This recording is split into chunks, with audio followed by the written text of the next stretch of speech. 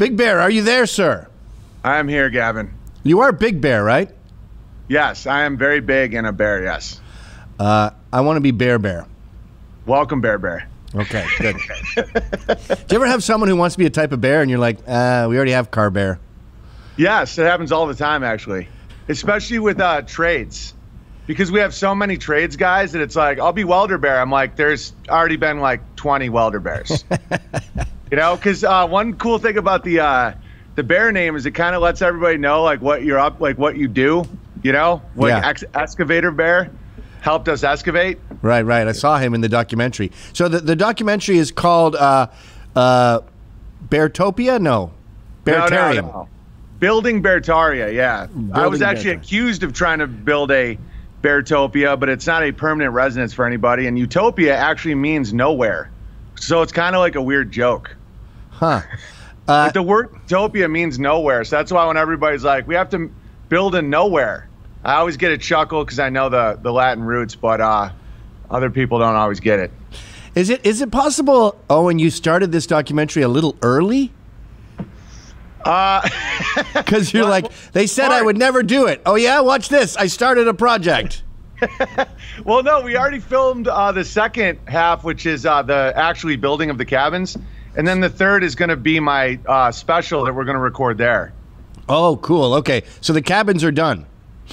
Uh, well, we have six. One's done, and the rest are framed with the roofing and all that. But the, uh, you know, doing stone takes a while. But I'll, I'll send you a video after we're done. It's it's really really cool looking, and so uh, yeah, it's a three parter. I mean, I'm basically the George Lucas of Idaho documentaries, where uh, the first one was just found it like just getting it started was such an interesting story, and we didn't realize how much of the media would be involved. Like we didn't have the the nemesis ready to go. We just uh, thought we could make a documentary for all the donors that couldn't be there, so that they could be a part of it. And uh, and then out of the woodwork comes you know these these really nasty little uh, troll media people, and that actually functioned as a really good second act. Now, my understanding was you were sort of driven out there. They were with your brother's business or something.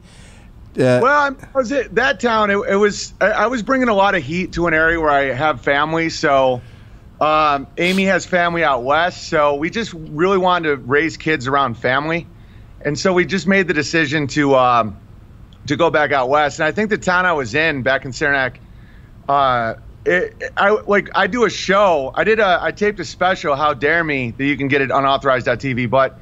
Uh, I had more people in the au- audience than live in the town, and it was taped at the um, the city capitol. I don't know what that's called, like where you go to vote and all that. What's that called?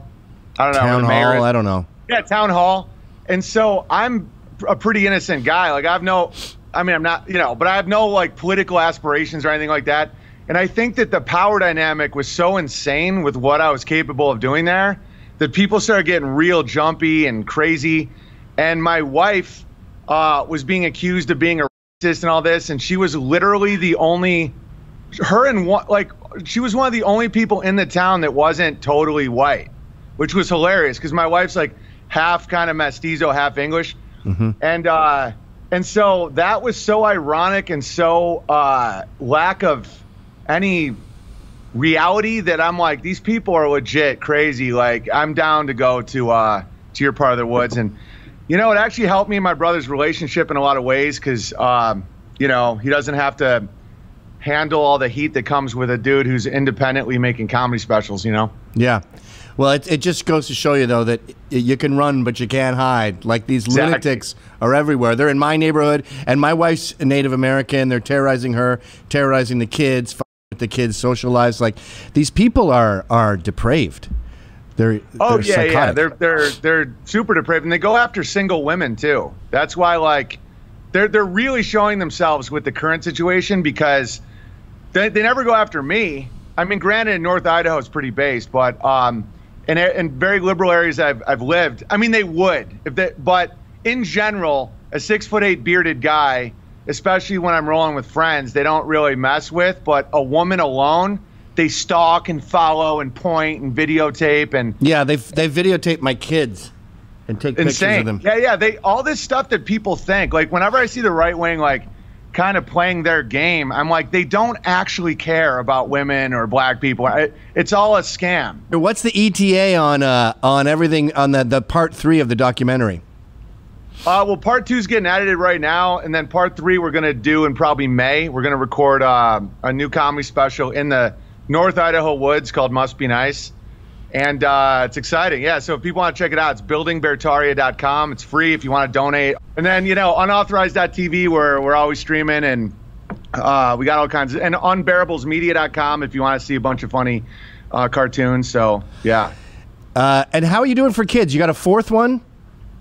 We have three. We're g- working on a fourth, but uh, our third is still breastfeeding enough where the o- not to get into too much information, but the ovulation sometimes doesn't kick in. Well, right. Yeah, Until yeah, yeah. more weaning.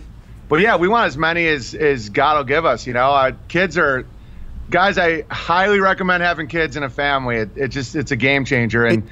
you know, Gavin planted those seeds in me a while ago, and um, so did Vince Vaughn. Vince Vaughn was like, "Baby, you got to stop pulling out like a coward," you know. And so it, it's important to shame young men into having kids because our society is so anti-family that we need more Gavins and Vince Vaughns just being like, "Baby, you, you got to stop being a coward." And then I'm like, "Oh, okay," because every other aspect of society is telling you to stay sterile and, you know, be a loser. It's Good for the environment. Out of 7 billion people, if you have two less. I always say it's like going to the beach, cleaning two grains of sand, and saying, I cleaned up the beach. I did my part. Yeah. No, you didn't. And they're all in cities. Like you only think there's a human problem if you live in a major city. If you're in the country, you're like, you see another dude, you're like, yeah, someone can help me with my chicken coop. It's awesome. you honk the horn and wave. yeah, totally. All right, man. Well, I'm, I'm happy to hear you're doing good, and I I I hope the losers in LA can keep cringing and worrying about you while their life goes down the toilet. totally, man. Thanks for having me, bro. See you, buddy. All right, peace.